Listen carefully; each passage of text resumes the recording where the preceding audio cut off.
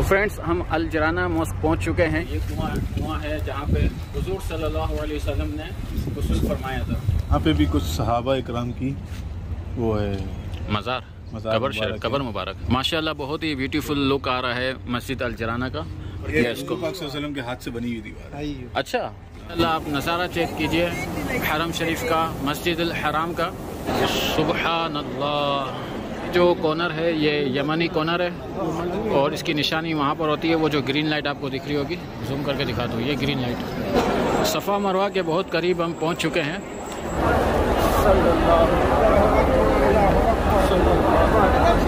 अस्सलाम वालेकुम friends welcome to my channel friends आज मैं फिर उम्र की शहादत हासिल कर रहा हूँ और इस वक्त हम मक्के की होटल में हैं, करीब में ही यहाँ पर और यहाँ से हरम थोड़ी दूर है। तो लेकिन उम्र करने का तरीका यूँ होता है कि यहाँ से जब आपको उम्र करना होता है, पहले आपको यहाँ की हदूद से बाहर जाना होगा। तो दो तीन मस्जिदें अलग अलग होती हैं। मस्जिद आयशा है, मस्जिद अल जुराना है। अल जुराना भी बोलते हैं इसको। तो अब हम जाएँगे मस्जिद अल जुराना की तरफ़ और वहाँ से हम उम्र की नीयत करेंगे और फिर जो है ना वहाँ से हम एहराम की पाबंदी में आ जाएँगे और फिर हम अपना उम्र शुरू करेंगे। अल्लाह अल्लाह अल्लाहु रहीम अल्लाहु रहीम अल्लाहु युहिब्बुल मुहसिनीन हुवा खालिकुना हुवा राज़िकुना फ्रेंड्स हम अल जराना मॉस्क पहुँच चुके हैं यहाँ पर। ये वो मॉस्क है जहाँ पर हुजूर सल्लल्लाहु अलैहि वसल्लम ने यहाँ पर आकर गुस्ल फरमाया था। यहाँ पर कुआँ भी है जिस कुएँ से गसल फरमाया था, वो आपको कुआँ भी मैं दिखाऊँगा। और फिर उसके बाद एहराम पिया एहराम पहना था और उम्र की नीयत की थी और फिर यहाँ से उम्र के लिए चले थे तो यहाँ पर हम भी आए हैं यहाँ पर उम्र की नीयत करेंगे यहाँ पर, नफल पढ़ेंगे और फिर हम सीधा उम्र के लिए निकलेंगे। तो मैं आपको यहाँ के थोड़ा व्यू भी दिखा दूँ ब्यूटीफुल मॉस्क हिस्टोरिकल मॉस्क और मुकदस जगह का आपको व्यू दिखाता हूँ। व्यू दिखाने से पहले मैं आपको दिखा दूँ, यहाँ पर चाय का स्टॉल भी लगा हुआ है। और मुजम्मिल साहब हमारे साथ यहाँ पर चाय पी रहे हैं। तो यहाँ की चाय भी चेक करते हैं और फिर मैं आपको ज़ियारत भी करवाता हूँ। तो फ्रेंड्स अब हम जा रहे हैं उस कुएँ की तरफ़ जहाँ पे हजूर सल्लल्लाहु अलैहि वसल्लम ने गसल फरमाया था। अक्सर लोग ये देखते हैं कि ये टैंकी है इसको कुआँ समझते हैं लेकिन ये कुआँ नहीं है। कुआँ जो है ना उस कोने में है। वो आपको वहाँ कोने की तरफ़ ले चलता हूँ मैं वहाँ पर। मुझे तो यहाँ से दिख गया है आपको करीब से दिखाता हूँ मैं।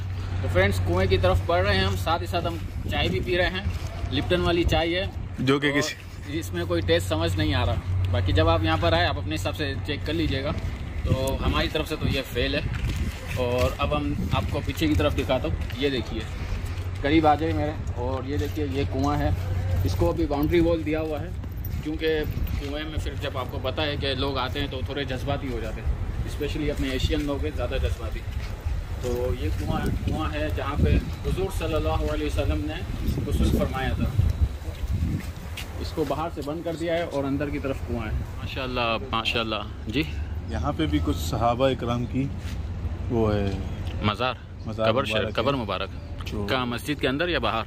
आप ये नहीं पता कहाँ है मस्जिद के अंदर है या इस तरफ़ है। इस तरफ़ भी हो सकती है और मस्जिद की इस तरफ़ भी अच्छा, नहीं चाहिए मस्जिद के अंदर क्योंकि मस्जिद के ऊपर मज़ारात के ऊपर मस्जिद नहीं बना। म- नहीं बनाते ना इस तरफ़ कहीं होगी। माशाल्लाह बहुत ही ब्यूटीफुल लुक आ रहा है मस्जिद अल जराना का। मैं थोड़ा अंदर की तरफ़ चल के देखते हैं। आपको भी दिखाता हूँ मैं। दरख्त ने यहाँ पे पूरा साया किया हुआ है। हाँ?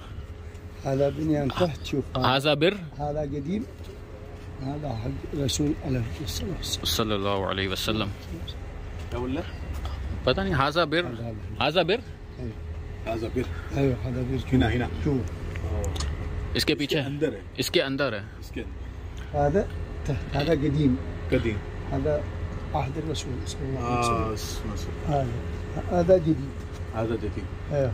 ये जो दीवार है ना हाँ हाँ ये कदीमी दीवार है बहुत पुरानी दीवार कदीमी कदीमी दीवार और वो वो वाली न्यू दीवार है वो न्यू दीवार है और ऊपर किया इसको के हाथ से बनी हुई दीवार है अच्छा माशाल्लाह सुबहान अल्लाह बहुत ही मुबारक मुकद्दस जगह हम हमें ज़्यारत को नसीब हुई है अल्हम्दुलिल्लाह बहुत ज़बरदस्त। तो फ्रेंड्स, वहाँ मुकद्दस कुएँ को हम देख कर आ चुके हैं, मुबारक विलेज को। और अब मैं आपको दिखाऊँ, ये जो जगह है, ये वज़ू खाना है, टॉयलेट वगैरह है यहाँ पर। और यहाँ से मस्जिद के अंदर जाने की जगह है एंट्रेंस और अब हम उस तरफ़ चलते हैं, आगे देखते हैं क्या क्या चीज़ें यहाँ पर है। पार्किंग एरिया में मैं इस वक्त खड़ा हूँ और पीछे आपको देख रहे होंगे कि कितनी सारी शॉप्स वगैरह यहाँ पर बनी हुई है। क्योंकि एक ये बड़ा शहर है, काफ़ी आबादी भी यहाँ हो चुकी है और थोड़ा सा डेवलप सिटी ये बन चुका है, ये वाला अलजुराना डेवलप सिटी थोड़ी सी बन चुकी है यहाँ पर। तो अब हम चलते हैं मस्जिद के अंदर की तरफ़ और एक अंदर का भी आपको नज़ारा दिखाऊँ मस्जिद का और मुक़दस जगह का नज़ारा मेरे साथ साथ आप लोग भी देखें तो ताकि हम सबको इसकी ज़्यारत नसीब हो। तो जैसा कि मैंने आपको बताया, यहाँ पर लोग उम्र की नीयत करने के लिए आते हैं और लोग प्रिपरेशन करते हैं। आपको दिखाऊँ, देखिए लोग यहाँ पे किस तरह रेडी हो रहे हैं। एहराम बांधेंगे यहाँ पर दो रखा नफल पढ़ेंगे और फिर अपना सफ़र शुरू करेंगे मक्के शरीफ की तरफ़। हरम की तरफ़ जाके बाकी अरकान वहाँ पे अदा करेंगे।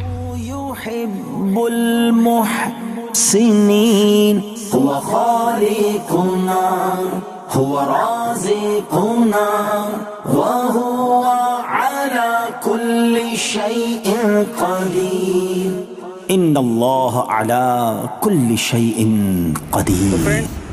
अब हम हरम शरीफ पहुंच चुके हैं और वहाँ पे हमने नफल पढ़ ली और नियत कर ली उम्र की हमारा उम्र शुरू हो चुका है और पहले अरकान में हम ऑलरेडी आ चुके हैं पहला अरकान जो था एहराम पहनने का इसके बाद टोटल चार एहरा चार अरकान होते हैं अपना तवाफ़ करना सही करना और आखिर में तहल्लुल यानी हजामत करवाना। या रब्बल आलमीन। अल्लाह अल्लाह।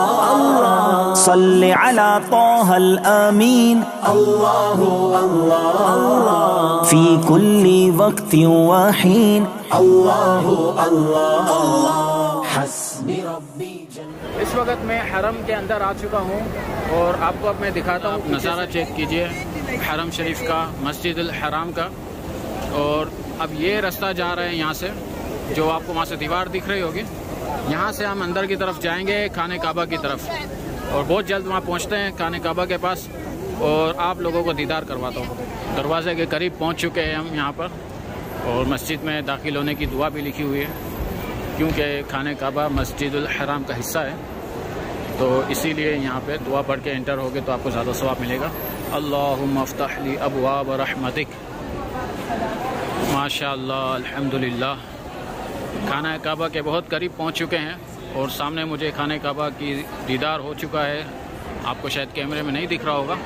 मैं आपको करीब पहुँच के और इसकी ज़्यारत करवाता हूँ लाइव और मेरे साथ साथ आप भी ज़्यारत करें और काबे को देखने भी सवाब है, तवाफ़ करना भी सवाब है, हर एक एक अमल सवाब है। सुबहान अल्लाह खाने काबा का दीदार हो चुका है सुबहान अल्लाह ऊपर से तवाफ़ करने की जगह है और नीचे से भी तवाफ़ करने की जगह है। तो अब हम नीचे की तरफ़ जा रहे हैं। नीचे से अपना तवाफ़ खाने काबा के और ज़्यादा करीब होकर हम अपना तवाफ़ शुरू करेंगे इन सुबहान अल्लाह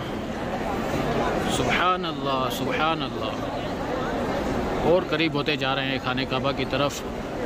एक अलग ही नूर आ रहा है यहाँ पर। सुबहान अल्लाह फ्रेंड्स खाने काबा के बहुत करीब आ चुके हैं हम यहाँ पर। और मैं आपको बताऊँ किस तरह हम अपना तवाफ़ शुरू करेंगे। ये देखिए, ये जो कॉर्नर है, ये यमनी कॉर्नर है और इसकी निशानी वहाँ पर होती है, वो जो ग्रीन लाइट आपको दिख रही होगी जूम करके दिखा दूँ ये ग्रीन लाइट तो यहाँ से हम तवाफ़ शुरू करेंगे यमनी कॉर्नर से दुआ पढ़ेंगे। रब्बना आतीना फिर दुनिया हसनतम वफ़िल आखिरती हसनतम वकीना अज़ाब अन्नार फिर इसके बाद हम हजर असवद की तरफ़ पहुँचेंगे, वहाँ से अपना तवाफ़ शुरू होगा। इस तरह हम सात चक्कर लगाएँगे और हजर असवद पे आके अपना तवाफ़ ख़त्म होगा। सही है, तवाफ़ शुरू करने से पहले मैं आपको बता दूँ एक चीज़। असवद से हम शुरू करेंगे, वहाँ शुरू करने से पहले एक तो उसको बोसा दे के शुरू करना होता है, लेकिन रश इतनी ज़्यादा होती है कि यहाँ बोसा नहीं दे सकते। तो दूसरा तरीका इसका यूँ होता है कि हज़रत असवद की तरफ़ हम यूँ हाथ करेंगे सीधा हथेली और फिर इसको हम यूँ चूमेंगे। और फिर इसके बाद हम अपना तवाफ़ पूरा शुरू करेंगे। सातों दफ़ा इसी तरह करेंगे और आठवीं दफ़ा सात चक्कर ख़त्म होने के बाद आठवीं दफ़ा फिर हम हजर असवद को यूँ करके चूमेंगे और फिर हमारा तवाफ़ इस तरह कंप्लीट होगा ये तवाफ़ ये उम्र का दूसरा अरकान ख़त्म करके फिर हम तीसरा अरकान करेंगे सफ, सही का सफ़र मरवा के बीच तो आइए हम अल्लाह का नाम लेके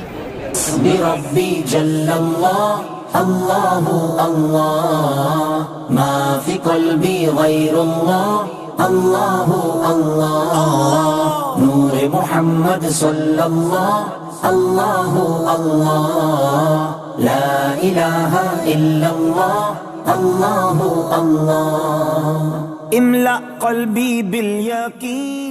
ला तो फ्रेंड्स अल्हम्दुलिल्लाह हमारे तवाफ़ का चक्कर कंप्लीट हो चुके हैं। आठ, सात चक्कर हमने लगाए और आठवीं दफ़ा हजर असरत को इशारा करके हमने भरोसा दिया।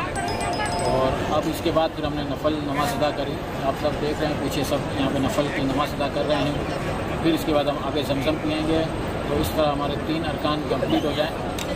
जो दूसरा अरकान हमारा कंप्लीट हो जाएगा और फिर तीसरा अरकान हमारी सफ़ा मरवा की सही होगी अब उस तरफ़ जाएँगे, सफ़ा मरवा की सही करेंगे और वो भी आपको मैं ज़्यारत करवाऊँगा वहाँ की भी। और इसी इसी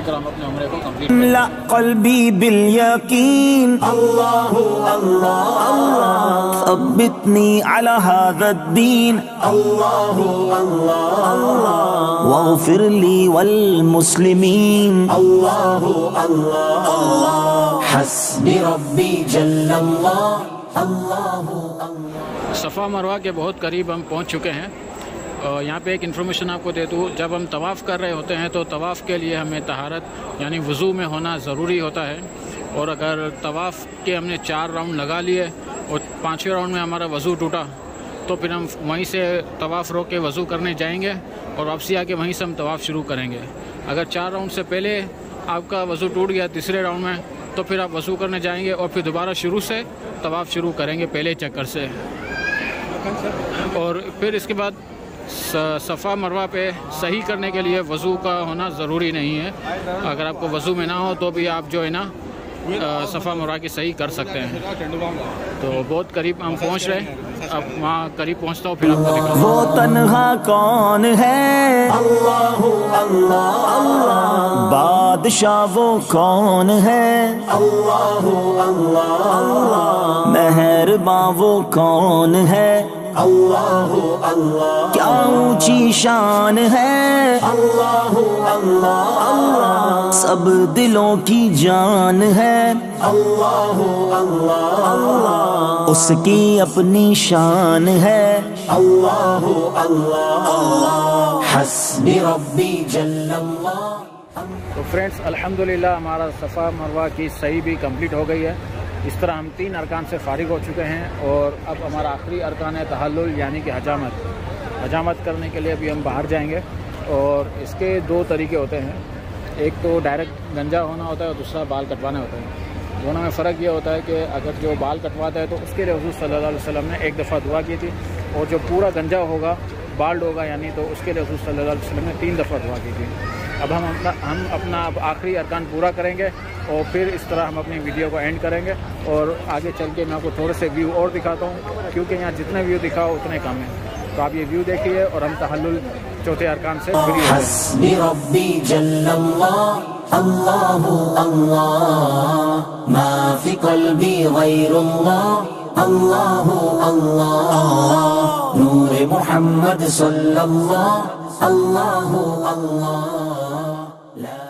अल्हम्दुलिल्लाह सुमा अल्हम्दुलिल्लाह फ्रेंड्स हमारा उम्र कंप्लीट हो चुका है। अल्लाह ताला ने हमें उम्र की सादत नसीब अदा फरमाई।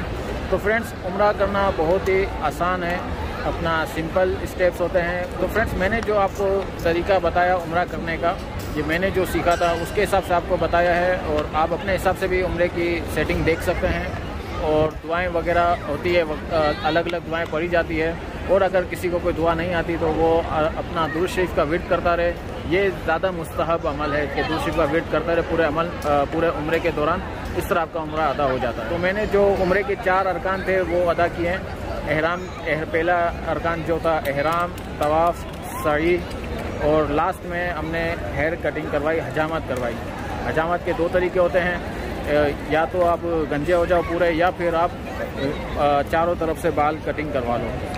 दोनों तरीके से आपको हमरा अदा हो जाता है। फ्रेंड्स मैं उम्मीद करता हूँ आपको मेरी ये वीडियो अच्छी लगी होगी इन्फॉर्मेटिव लगी होगी।